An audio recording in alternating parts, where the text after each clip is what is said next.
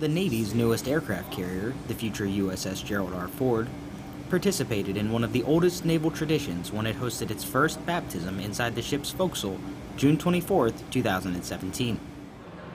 Uh, my wife and I both served on board the ship. My wife was a, uh, a nuclear surface warfare officer. I am on board as a deck division officer. And so with both of us serving on board, we thought it was appropriate and uh, fitting to have our son baptized uh, in ship's bell on board. I think it's really cool that two people that have served on board are the first people to baptize their, their child on board. So I think it does give some extra attention to it, but we're just really happy that we were able to do it. Blessed be God, Father, Son, and Holy Spirit. I was pretty nervous, you know, make sure that one, that everything went off without a hitch and that we, you know, that we didn't have any problems.